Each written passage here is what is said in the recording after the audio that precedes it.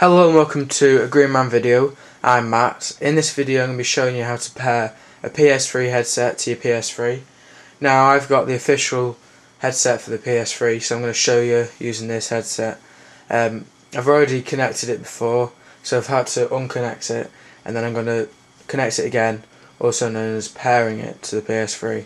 So I'm going to show you now how to do it. If you haven't got the official headset um, other headsets will the same. Um, it'd be the same way how you connect it, pretty much. But if you don't know how, look in your manual or instructions that you get of your headset.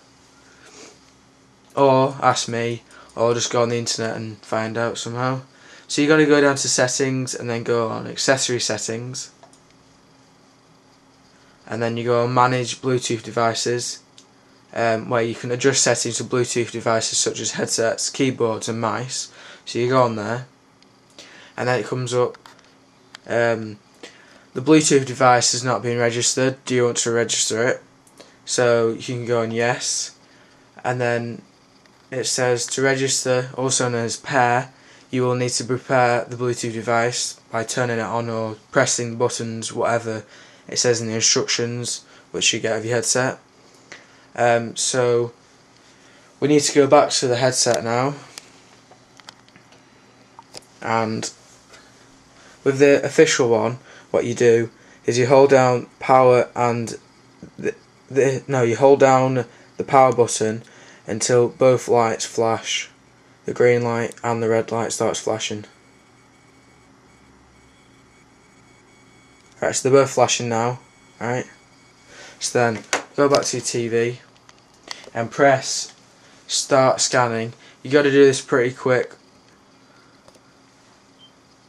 Um, so select the device to register and it's come up with wireless headset so go on there. It says please wait. Um, a passkey a passkey um, I'm not sure if all headsets have a passkey but this one does.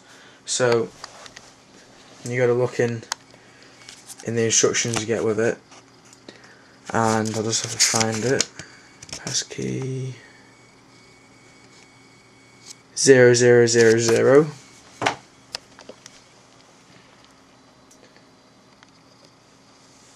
So go on there.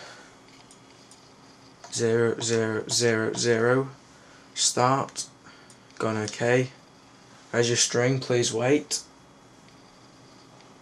Register complete. So now it's connected.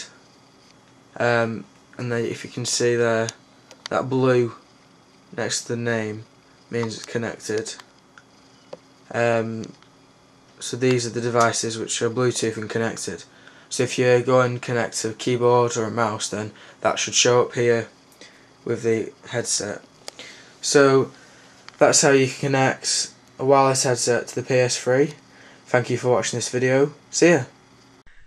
Bye bye bye bye. Bye bye bye bye. Watching Green Man videos.